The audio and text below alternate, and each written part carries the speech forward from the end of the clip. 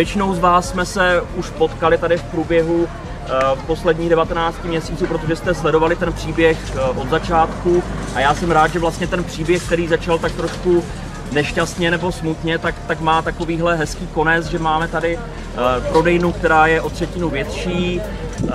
Podařilo se tady navýšit i kapacitu parkoviště a hlavně jsme rádi, že prodejna se znovu vrátila tady zpět do Chodova. Dnes 20. června v 10 hodin byla slavnostně otevřena nová prodejna Penny. Přestavba supermarketu byla vynucena kvůli požáru, který zcela zničil 6. listopadu 2022. Nová stavba díky o třetinu větší prodejní ploše nabídne zákazníkům vyšší komfort a větší bude také počet parkovacích míst.